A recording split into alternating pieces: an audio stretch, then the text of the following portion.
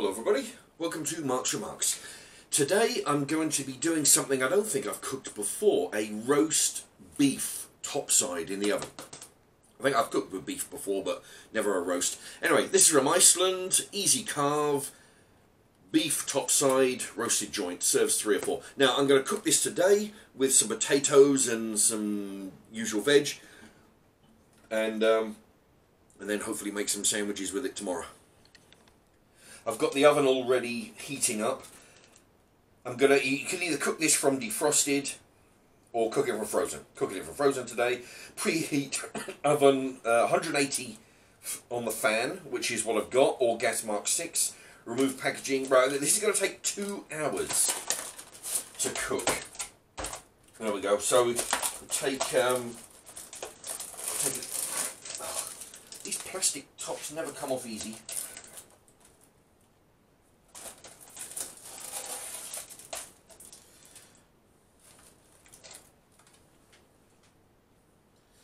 Okay, I'm just going to take the rest of that plastic off. There we are. It's a fair sized chunk of meat. Not enough for three or four like it says on the on the box, but um, you know, it's a fair chunk. Anyway, it's got some string around it, so that'll be taken off after cooking. Let's see, right. I'll cook it like that and then uh, uh, I'll put it in the oven for an hour and a half and then I'll put some potatoes in, put it back in for another 30 minutes. There we are, middle of the oven. Come back an hour and a half. Okay, it's half an hour in, and I forgot to uh, put the foil on the roast. Okay, so that's what I'm going to do now. Just put lo loosely put the foil over the uh, beef joint. There you go. It's been in for half an hour, so it's got another hour to go until the potatoes go in and then a further half an hour. Another hour. Okay, it's been an hour and a half. You'll take it out, add the potatoes and put it in for another 30. Okay, I've decided to take the string off and then uh, before I put it back in the oven for the for the last half an hour. Okay, I think I've got it all yeah, there you go. It's looking pretty good. All right, there's lots of uh, of stripes on there. I don't know if you can see that. Okay, so I've taken the string off. I'm going to add the potatoes. There's another 30 minutes. Okay. There we go. 3, 5, 6, 7, 8, 9, 10, 11. That ought to do that with the potatoes. Back in the oven for 30. And now I'm going to work on uh, a selection of vegetables. Okay, I'm going to go with some uh, broccoli. Right, it's two big bits stuck together here, so I'll use those. Uh, four, six Brussels, uh, six Brussels sprouts. Okay, a bit of cauliflower. Some uh, some of the mixed veg. This has got a bit of, this has got peas, bit of carrots in there. There you go. And uh, bit of sweet corn. And that ought to do it. Okay, the joint is cooked. I'm going to go ahead and, uh, actually, I've just sharpened the knife and it is very easy to cut this meat. I'm going to cut it into sort of thin slices.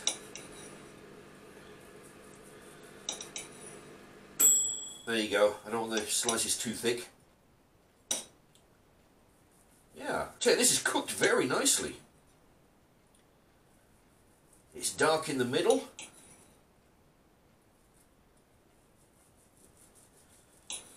There's no uh, no pink.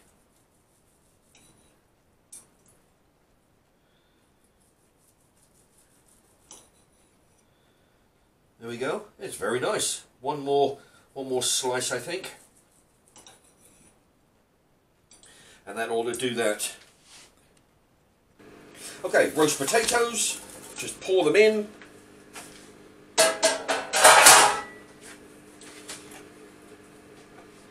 And then the slices of roast beef. I'm going to save the rest of this for another another dish.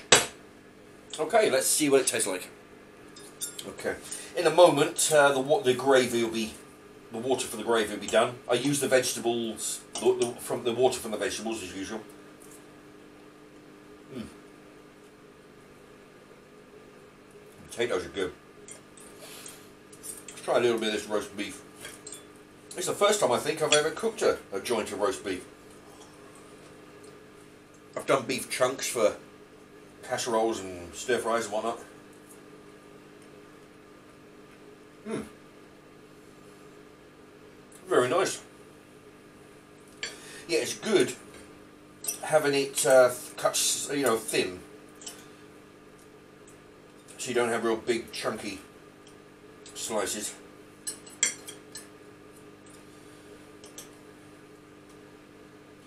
Right, let's find a bit of broccoli there.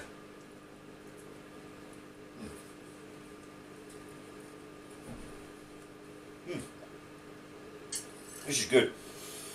It's always good to have a, a, good selection of vegetables in here, which I, you know, oh, regulars will know that I try to put veg in almost all my meals whenever possible, even if it's just a, a few bits, you know.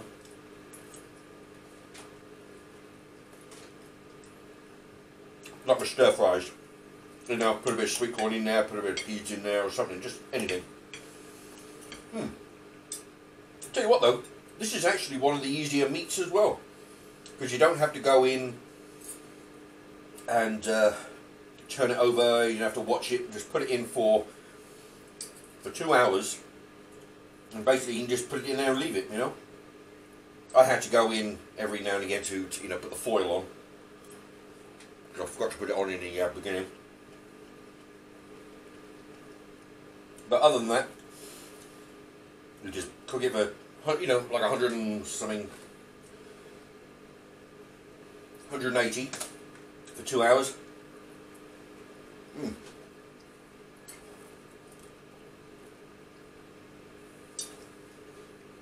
Oh boy, hot.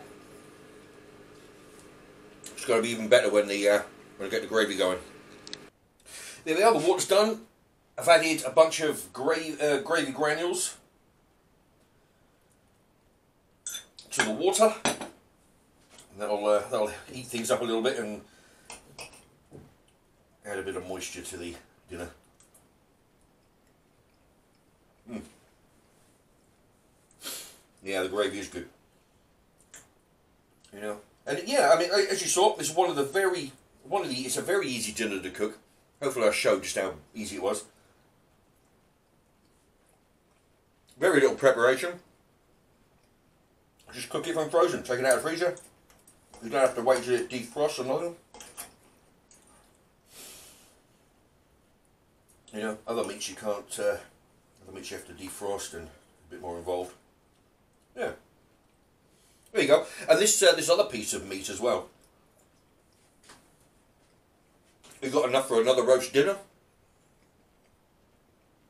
Or, uh, you know, sandwiches. Ooh. Chop it up, put it into a stir fry, or uh, actually, that's not a bad idea. I could make a stir fry out of some of it. You know, I'm going to have to dream up something to do with the rest of that. Maybe sandwiches, maybe stir fry. Both would be good.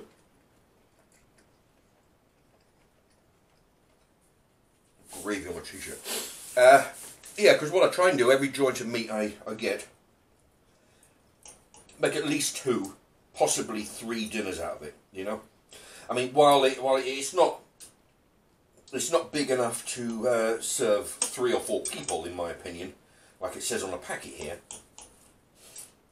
it's definitely good for it's it's too much for one dinner and not enough for three or four you know so or you know roast dinner-sized dinners but uh, yeah make one make a roast dinner and two smaller dinners anyway there you have it how to do a roast top side. I'll put a couple of videos in the corner here. Maybe you could have a look at those if they interest you. And thank you very much for watching.